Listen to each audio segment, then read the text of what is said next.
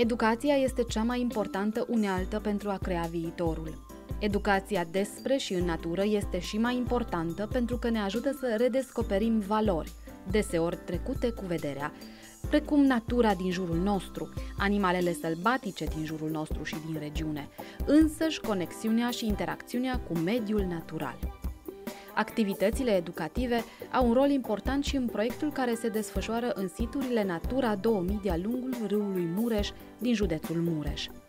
Întâlnirile cu profesorii, dar mai ales cu copiii din școlile generale, gimnaziale și liceale din localitățile arondate proiectului s-au realizat de-a lungul a mai mulți ani.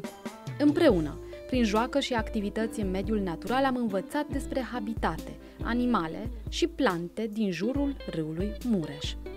Am recunoscut specii de păsări cu ajutorul aplicației mobile, le-am recunoscut cântecul și ne-am minunat de frumusețea lor. Și ce amuzant este să descoperi câte tipuri de ciocuri au păsările. Tabăra de vară a constituit un prilej de învățare altfel.